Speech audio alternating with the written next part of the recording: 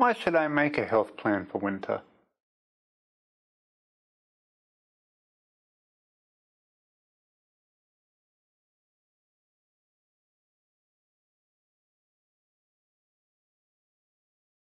Viruses are spreading more in winter as we're spending more time indoors. There will be the flu and the COVID 19 in the community this winter.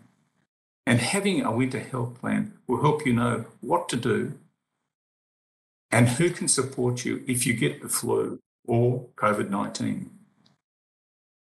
This is important because you won't be able to do the usual things that you can do.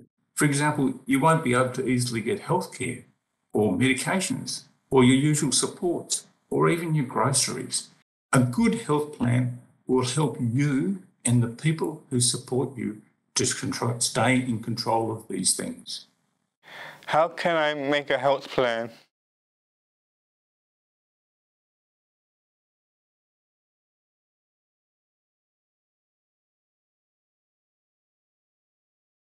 It's important that your health plan is about you and your health needs.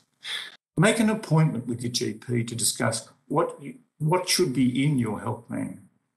This may include what you can do to avoid getting flu and COVID 19, what vaccines you should have before winter, what treatments are available if you do get sick, and how you can access healthcare if you get sick.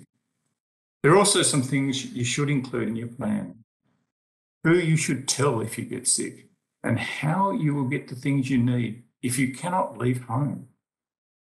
You should also talk to a disability support worker about how they can support you if you get sick.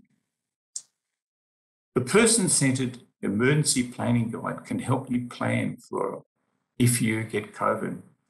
There's also an easy read version of this guide available so you can complete this on your own or with somebody who you really trust.